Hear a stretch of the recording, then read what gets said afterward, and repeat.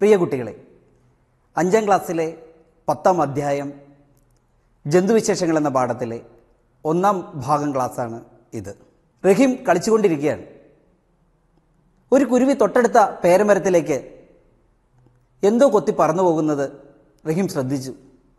പല പ്രാവശ്യം ശ്രദ്ധിച്ചപ്പോൾ അവന് മനസ്സിലായി. നാരുകൾ കൊത്തിക്കൊണ്ട് കുരുവി പറന്നു പോവുകയാണ്. കൂട്ടുകാരെ നിങ്ങൾ പക്ഷികൾ കൂടുണ്ടാക്കുന്നത് ശ്രദ്ധിച്ചിട്ടുണ്ടോ? എത്ര തരം വൈവിധ്യമാണ് അവയുടെ കൂടുകളിൽ കാക്കകൾ ചുള്ളിക്കമ്പുകൾ പെറുക്കി കൊണ്ടുവച്ച് മരശിഖരങ്ങളിൽ കൂടുകൾ നിർമ്മിക്കുന്നു. തുന്നാരം കുരുവി തന്നെ നോക്കൂ. എന്ത് മനോഹരമായി അവയുടെ ചുണ്ടുകൾ കൊണ്ട് നാരുകൾ ഉപയോഗിച്ച് ഇലകൾ തുന്നിച്ചേർത്തുകൊണ്ട് വളരെ മനോഹരമായി അതിന്റെ ഉള്ളിൽ പഞ്ഞി എല്ലാം നിറച്ച് കൂടുകൾ നിർമ്മിക്കുന്നത്. അതുപോലെ തന്നെ അതിലും വൈവിധ്യം നിറഞ്ഞതാണ് തൂക്കണാങ്കുരുവിയുടെ കൂട്. ഓലയിൽ ഇങ്ങനെ ആടിക്കളിക്കുന്ന ആ തൂക്കണാങ്കുരുവി കൂടെ നിങ്ങൾ ശ്രദ്ധിച്ചിട്ടുണ്ടാകും ചെളിമണ്ണ് ഉരുട്ടിക്കൊണ്ടുവരുന്ന ഭിത്തിയിലെല്ലാം പിടിപ്പിച്ച് കൂടുകൾ ഉണ്ടാക്കുന്ന നാരായണക്കിളി. പൊന്മാൻ എവിടെയാണ് കൂടുണ്ടാക്കുന്നതെന്ന് നിങ്ങൾക്കറിയാമോ? മാളങ്ങളിലാണ് പൊന്മാൻ കൂടുണ്ടാക്കുന്നത്. പുഴയുടെയും അതുപോലെ തന്നെ കുളത്തിന്റെയും കരയിലെല്ലാമുള്ള മാളങ്ങളിൽ പൊന്മാൻ കൂട് കിട്ടുന്നത്. അതുപോലെ തന്നെ തത്ത വലിയ പനയുടെ അല്ലെങ്കിൽ വലിയ മരങ്ങളുടെ പൊത്തുകളിൽ കൂടുകളുണ്ടാക്കി അവിടെ താമസിക്കുന്നു. ഇത്തരത്തിൽ വൈവിധ്യങ്ങളായ കൂട് നിർമ്മാണ രീതി ഇത് തന്നെ ഒരു പഠനശാഖയുണ്ട്. വളരെ മനോഹരവും രസകരവുമായ പക്ഷികളുടെ ഈ കൂട് നിർമ്മാണത്തെക്കുറിച്ച് നിങ്ങൾ കൂടുതൽ ശ്രദ്ധിക്കുമല്ലോ അല്ലേ? നിങ്ങൾ അവ നിരീക്ഷിച്ച് കുറിപ്പുകൾ ശാസ്ത്രപുസ്തകത്തിൽ എഴുതുമല്ലോ.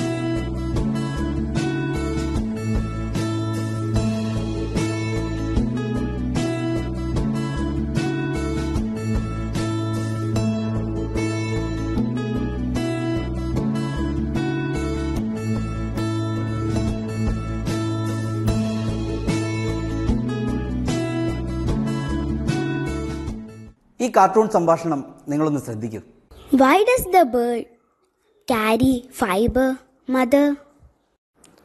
The bird is building a nest to lay eggs. Don't disturb. Let us watch it with a binocular till it completes the nest and hatches the eggs. But Kurini, the cat had its kitten not by hatching eggs. All creatures do not lay eggs. The cat and the dog give birth to their young ones. റഹീമിന് ആകെ സംശയമായി. നിങ്ങൾക്കുമില്ലേ സംശയം? ജീവികൾ എന്തിനാണ് വംശവർദ്ധനവ് നടത്തുന്നത്? അത് നിങ്ങൾക്കറിയാമോ?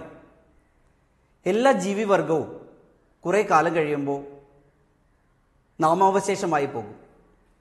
അത്തരത്തിൽ സംഭവിക്കാതിരിക്കാൻ ആ വർഗത്തെ നിലനിർത്തുന്നതിന് വേണ്ടിയാണ് പക്ഷിവർഗവും മുട്ടയിട്ട് കുഞ്ഞുങ്ങളെ വിരിയിക്കുന്നതും. മറ്റ് ജീവികൾ പ്രസവിച്ച് കുഞ്ഞുങ്ങളെ വളർത്തുന്നതുമെല്ലാം. ഇത്തരത്തിൽ ജീവികളുടെ തലമുറ അനസ്യൂതം തുടരുന്നതിന് വേണ്ടിയാണ് ജീവിവർഗങ്ങളെല്ലാം പല മാർഗങ്ങളിലൂടെ വംശവർദ്ധനവ് നടത്തുന്നത്. മുട്ടയിട്ട് കുഞ്ഞുങ്ങളെ വിരിയിച്ചു കുഞ്ഞുങ്ങളെ പ്രസവിച്ച് പാലൂട്ടി വളർത്തിയുമല്ല. എല്ലാ ജീവികളും മുട്ടയിട്ട് തന്നെയാണോ വംശവർദ്ധനവ് നടത്തുന്നത്? അല്ല. സസ്തനികളായിട്ടുള്ള ജീവികൾ ആട് പശു എലി പൂച്ച തുടങ്ങിയ ജീവികളെല്ലാം കുഞ്ഞുങ്ങളെ പ്രസവിക്കുകയാണ് ചെയ്യുന്നത്. കൂട്ടുകാരെ ഈ ചിത്രമൊന്ന് ശ്രദ്ധിക്കൂ.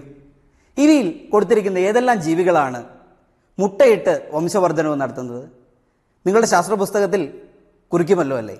പക്ഷികളുടെ മുട്ടകൾ നിങ്ങൾ എത്ര പേർ കണ്ടിട്ടുണ്ട്? വളരെ വർണഭംഗിയുള്ളവയാണ് പക്ഷിയുടെ മുട്ടകൾ. നീല നിറത്തിലുള്ളവയുണ്ട് പുള്ളിക്കുത്തുകളുള്ളവയുണ്ട് ചാര അപ്പോൾ പക്ഷികളുടെ മുട്ടകൾ നിങ്ങളൊന്ന് ശ്രദ്ധിക്കണം.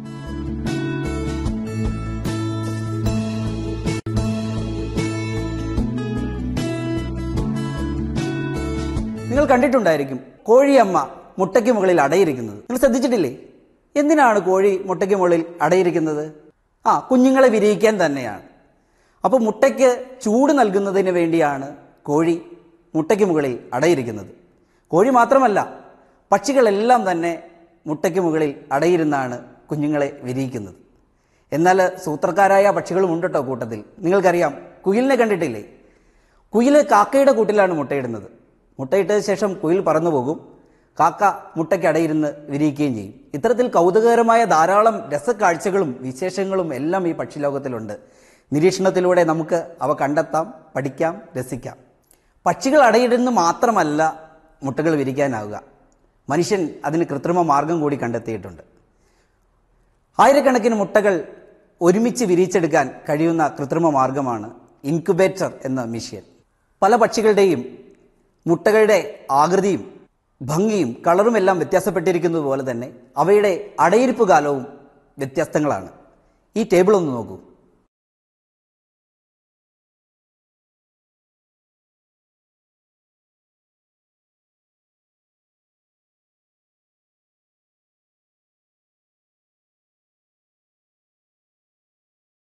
നിങ്ങൾക്കേറെ കൗതുകവും ഇഷ്ടവുമുള്ള കൂട്ടുകാരാണ് പക്ഷികൾ. പക്ഷി നിരീക്ഷണത്തിൽ എന്തെല്ലാം കാര്യങ്ങളാണ് ശ്രദ്ധിക്കേണ്ടതെന്ന് നിങ്ങൾക്കറിയാമോ? നമുക്കൊരു നല്ല പക്ഷി നിരീക്ഷകരാകാം. അതിനു വേണ്ട ചില കാര്യങ്ങൾ നമുക്കിന്നൊന്ന് ചർച്ച ചെയ്താലോ? പക്ഷികളെ എങ്ങനെയെല്ലാമാണ് നാം നിരീക്ഷിക്കേണ്ടത്? അതിന് തീർച്ചയായിട്ടും നമുക്ക് അറിവ് വേണം. പക്ഷികളുടെ നിറം അവയുടെ തൂവലുകളുടെ വ്യത്യാസം കൊക്ക് കാൽ എന്നിവയുടെ വ്യത്യാസങ്ങൾ അതുപോലെ തന്നെ അവ ഇരപിടിക്കുന്ന ആഹാര സമ്പാദന രീതിയിലുള്ള വ്യത്യാസം ഇവയെല്ലാം ശ്രദ്ധിച്ചുകൊണ്ടാണ് പക്ഷി നിരീക്ഷണം നടത്തേണ്ടത്.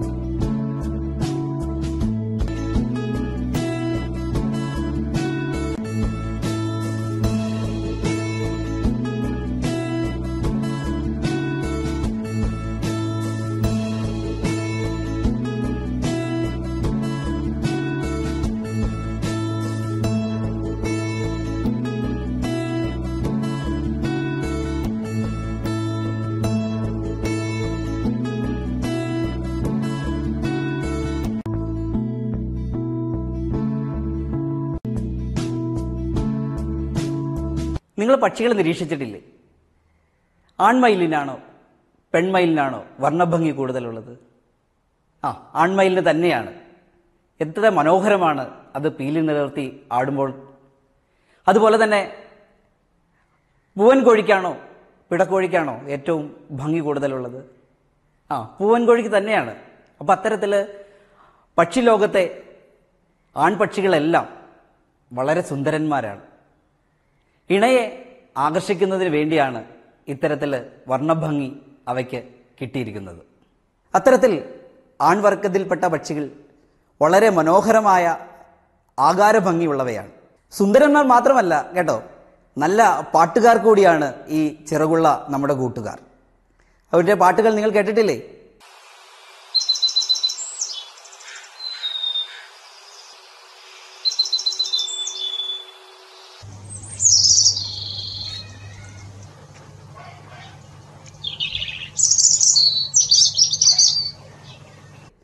എത്ര തരം ശബ്ദവിന്യാസങ്ങളാണ് പക്ഷികൾക്കുള്ളത്? പ്രജനന കാലഘട്ടങ്ങളിൽ പക്ഷികളുടെ നിറങ്ങളിൽ വ്യത്യാസം വരുന്നതായി കണ്ടുവരുന്നുണ്ട്. നിങ്ങൾ പക്ഷികളെ നിരീക്ഷിക്കാറുണ്ടോ? ഇല്ലെങ്കിൽ ഇനിയെങ്കിലും നമ്മൾ നിരീക്ഷിച്ച് തുടങ്ങണം. നിങ്ങളുടെ ചുറ്റുപാടുമെല്ലാം നിങ്ങൾ ഏതെല്ലാം പക്ഷികളെ ശ്രദ്ധിച്ചിട്ടുണ്ട് അല്ലെങ്കിൽ നിരീക്ഷിച്ചിട്ടുണ്ട്? ഏതെല്ലാം?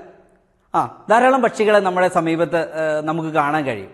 അത്തരത്തിലുള്ള ആ പക്ഷികളുടെ എല്ലാം ഒരു ലിസ്റ്റ് തയ്യാറാക്കണം. അതുപോലെ തന്നെ ഈ പക്ഷികൾ ഏത് സമയത്താണ് ഏറ്റവും അധികം കാണപ്പെടുന്നത്? രാവിലെയാണോ പുലർകാലത്താണോ അതുപോലെ തന്നെ മധ്യാഹ്ന സമയത്താണോ അല്ലെങ്കിൽ സന്ധ്യ മയങ്ങുന്ന സമയത്ത് കാണുന്ന പക്ഷികൾ ഏതാണ്? ഇത്തരത്തിലുള്ള പക്ഷികളെ ഒന്ന് ലിസ്റ്റ് ഔട്ട് ചെയ്യുകയും ഈ പക്ഷികളുടെ പ്രത്യേകതകൾ അവയുടെ ആഹാര സമ്പാദന രീതി ഇതെല്ലാം നിങ്ങളുടെ ശാസ്ത്ര പുസ്തകത്തിൽ രേഖപ്പെടുത്തി വയ്ക്കുക.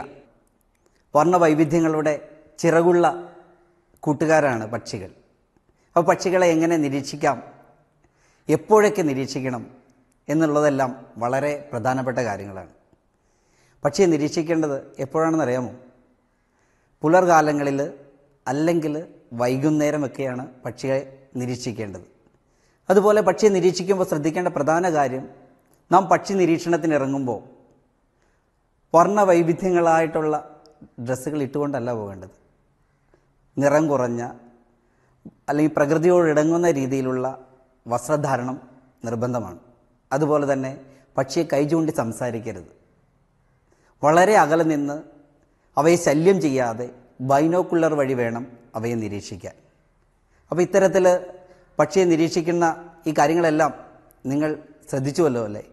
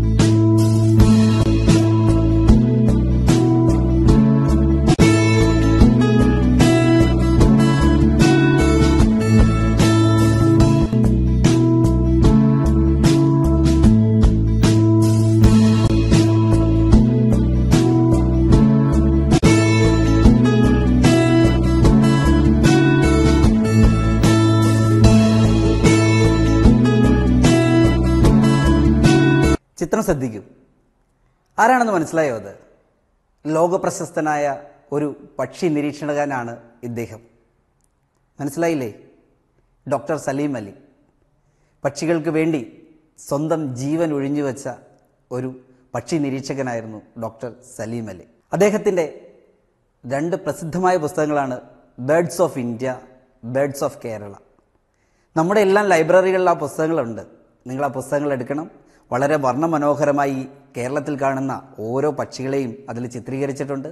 അതിന്റെ പ്രത്യേകതകൾ അതിന്റെ അടയിരിപ്പ് കാലം അതിന്റെ പ്രജനനകാലം അതുപോലെ അവയുടെ എല്ലാ പ്രത്യേകതകളും ആ പുസ്തകത്തിൽ പറയുന്നുണ്ട്. അപ്പോൾ ഇത്തരത്തിലുള്ള പുസ്തകങ്ങൾ നിങ്ങൾ ലൈബ്രറിയിൽ നിന്ന് ശേഖരിച്ച് ഇന്ന് തന്നെ കുറിപ്പുകൾ തയ്യാറാക്കി നമ്മുടെ നമ്മുടെ നാട്ടിലെത്തുന്ന വിരുന്നുകാരെയും അതുപോലെ നമ്മുടെ നാട്ടിലെ നിത്യസന്ദർശകരായ പക്ഷികളെയും എല്ലാം ഐഡന്റിഫൈ ചെയ്ത് നിങ്ങളുടെ ശാസ്ത്ര പുസ്തകത്തിൽ ഒരു പക്ഷി നിരീക്ഷണ ഡയറിയായി നിങ്ങൾ സൂക്ഷിക്കുമല്ലോ. കേരളത്തിൽ ദേശാടന പക്ഷികൾ കണ്ടുവരുന്ന സ്ഥലങ്ങളാണ് കോഴിക്കോട്ടിലെ കടലുണ്ടി കോട്ടയം ജില്ലയിലെ കുമരകം എറണാകുളം ജില്ലയിലെ തട്ടേക്കാട്. ഏതാണ് ഈ പുസ്തകം? അല്ലെങ്കിൽ ഈ പുസ്തകത്തിന്റെ പ്രത്യേകത എന്താണ്? ഡോക്ടർ സലീം അലിയുടെ ആത്മകഥയായ ഒരു കുരുവിയുടെ പതനം എന്ന പുസ്തകമാണിത്. ഇതും നിങ്ങൾ ലൈബ്രറിയിൽ നിന്നെടുത്ത് വായിക്കണം. ഇതും കേരളത്തിലെ പ്രസിദ്ധനായ ഒരു പക്ഷി നിരീക്ഷകനാണ്. ഇദ്ദേഹത്തിന്റെ പേര് ഇന്ദുചൂടൻ എന്നാണ്. സലീം അലിയുടെ ശിഷ്യനാണ് ഇദ്ദേഹം. കേരളത്തിലെ പക്ഷികൾ എന്ന വിഖ്യാതമായ ഗ്രന്ഥം ഇദ്ദേഹം രചിച്ചതാണ്. ഭൂമിയിലെ മനോഹാരിതയുടെ ചിറകുള്ള കൂട്ടുകാരാണ് പക്ഷികൾ. ആ പക്ഷികളെ സംരക്ഷിക്കേണ്ടത് നമ്മൾ ഓരോരുത്തരുടെയും കടമയാണ്. എങ്ങനെയാണെന്നല്ലേ? നിങ്ങളുടെ എല്ലാം സ്കൂളുകളിൽ ജൈവ വൈവിധ്യ ഉദ്യാനങ്ങളുണ്ട്.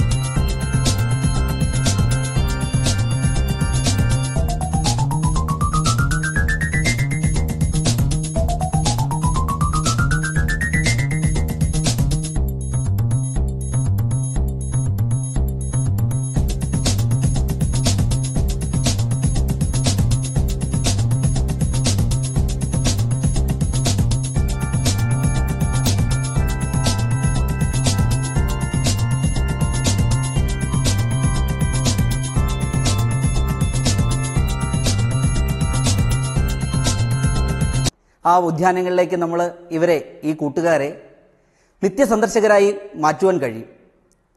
പക്ഷികൾക്ക് ഇഷ്ടമുള്ള ചെറിയ സാഹചര്യങ്ങൾ സൃഷ്ടിച്ചുമെല്ലാം നമ്മുടെ സ്കൂളുകളും ഒരു പക്ഷിയുടെ സങ്കേതമാക്കി നമുക്ക് മാറ്റാം. അങ്ങനെ പ്രകൃതിയുടെ കാവലാളായി നമുക്ക് ഓരോരുത്തർക്കും മാറാം.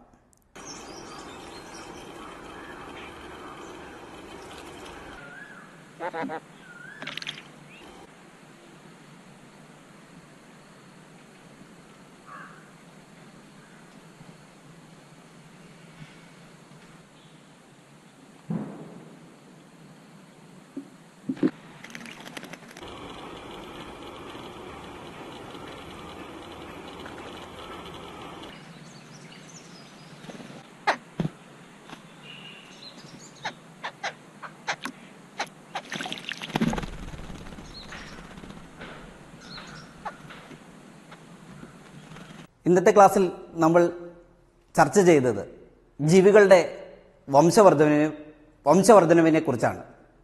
അത് രണ്ട് തരത്തിലുണ്ട്. മുട്ടയിടുന്നവ കുഞ്ഞുങ്ങളെ പ്രസവിച്ച് പാലൂട്ടി വളർത്തുന്നവ. അതിൽ മുട്ടയിടുന്നതിൽ ഏറ്റവും പ്രധാനപ്പെട്ട വിഭാഗമാണ് പക്ഷികൾ. പക്ഷികളുടെ വർണഭംഗി അവയുടെ കൂടൊരുക്കുന്ന രീതികൾ അതുപോലെ തന്നെ പക്ഷി നിരീക്ഷണത്തിൽ നാം എന്തെല്ലാം ശ്രദ്ധിക്കണം? അവയുടെ അടയിരിപ്പ് കാലം പക്ഷി നിരീക്ഷണത്തിൽ ഇറങ്ങുമ്പോൾ നാം ശ്രദ്ധിക്കേണ്ട പ്രധാന കാര്യങ്ങൾ എന്തെല്ലാമാണ്? പക്ഷി നിരീക്ഷണ കേന്ദ്രങ്ങൾ ഏതൊക്കെയാണ്? സലീം അലിയെക്കുറിച്ച് നാം ചർച്ച ചെയ്തു. സലീം അലിയുടെ പുസ്തകങ്ങൾ ഏതെല്ലാമാണെന്ന് നാം ചർച്ച ചെയ്തു. ജന്തുക്കളുടെ വംശവർദ്ധനവിനെക്കുറിച്ച് ആണ് നാം അടുത്ത ക്ലാസ്സിൽ ചർച്ച ചെയ്യുന്നത്. ഇതുമായി ബന്ധപ്പെട്ട ഒരു വർക്ക്ഷീറ്റ് നിങ്ങൾക്ക് നൽകുന്നുണ്ട്. നിങ്ങൾ അത് നിങ്ങളുടെ ശാസ്ത്ര അധ്യാപകന്